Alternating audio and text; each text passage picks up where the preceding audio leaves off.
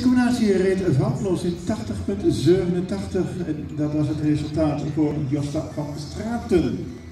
Zet nummer in aan de stad, dit is Christina Schutte met Ice Age, de schaaphouwafstanding voor de HCE-ruiters.